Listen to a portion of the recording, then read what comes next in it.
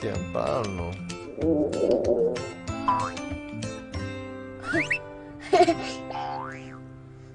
啊！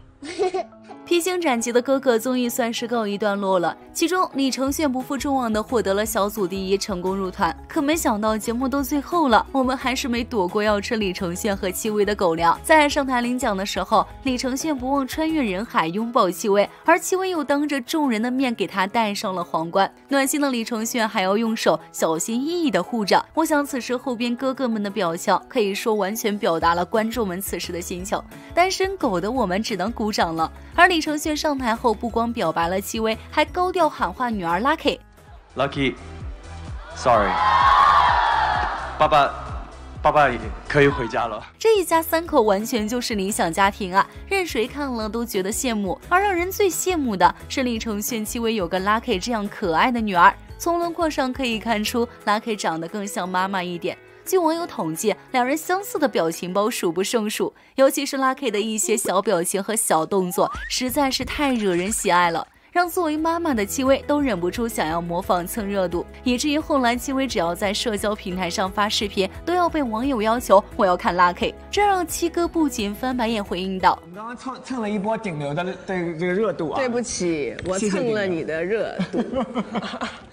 好，我们看看今天的第一名是。他蹭了我的基因，我怎么不能蹭他热度呢？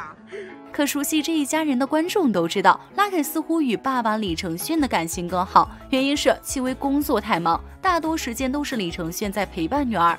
因此，李承铉就带着女儿 Lucky 上了一档亲子节目。而近些年，几乎每个有关小朋友的综艺都会被讨论教育方式的问题。到了李承铉和戚薇这儿也是不例外。大家都觉得李承铉是在西方长大的，教育方式是否会不太适合中国的小朋友？可是看了 Lucky 在节目中的表现，我想观众们的担心似乎有点多余了。节目中的 Lucky 在做错事情后，不仅能勇敢地面对自己的错误，还可以很耐心地引导其他小朋友一起面对。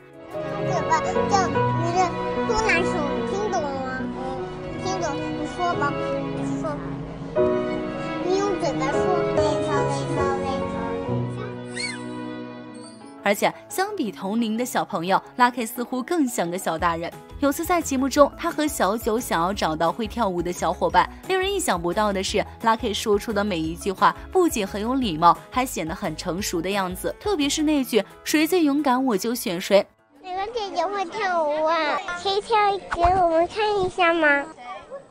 谁最最勇敢，我就选谁。正是因为李承铉正确的教育方式，才会让 Lucky 受到如此多人的喜爱。可以说，他绝对是个合格的爸爸。而这样的爸爸是不会放过任何一个教育孩子的机会的。李承铉就曾经因为 Lucky 弄丢了最心爱的玩具蛋蛋而暴走机场。他很了解这是女儿睡前必须要捏一捏的玩具，所以在机场拜托了很多工作人员帮忙找。最终找到的时候，李承铉看起来比 Lucky 本人还要开心。但回到女儿那里，他就一本正经地跟女儿讲道理。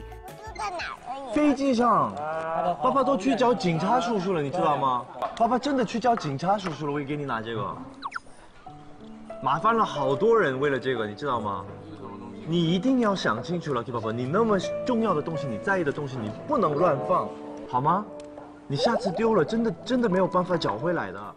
虽说有时候李承铉为了 Lucky 好会对他很严厉，但他对女儿的宠溺，大家也都是看在眼里的。在节目中，小朋友们要单独去做任务，其他爸爸都在享受着这难得的休闲时光，只有李承铉一脸愁容，担心 Lucky。直到看到节目组发来的视频，才真正放心下来。这绝对是妥妥的女儿奴啊！而在拍摄《牙上的波妞》MV 时，李承铉、戚薇夫妇也是全程陪伴 Lucky。不仅很耐心的在旁指导，在正式开拍的时候，两人还一正一反的在台下同步动作。拍摄花絮一经公开，网友们不禁直呼：“Lucky 有这样的父母实在是太幸福了，怪不得这一家三口都被称作全网最火的明星家庭。”看着李承铉和戚薇如此恩爱，对 Lucky 的家庭教育也非常好。希望伴着网友们的支持和喜爱，这一家三口可以越来越幸福。好了，以上就是本期的全部内容。你喜欢萌萌的 Lucky 吗？评论区可以留言讨论。我们下期再见。